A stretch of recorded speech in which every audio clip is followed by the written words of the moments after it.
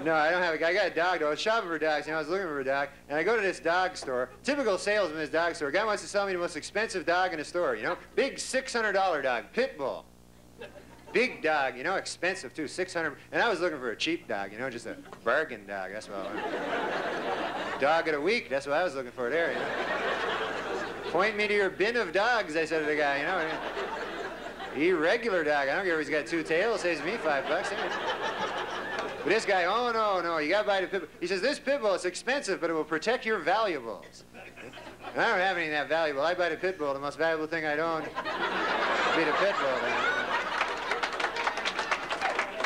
I'd have to buy something to protect it then, you know. I'd